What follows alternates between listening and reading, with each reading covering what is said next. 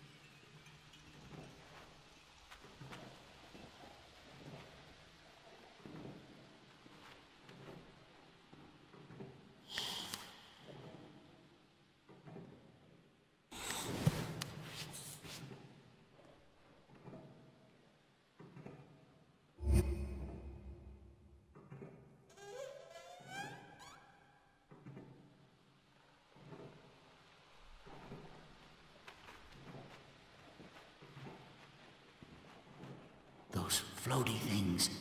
They look like memories.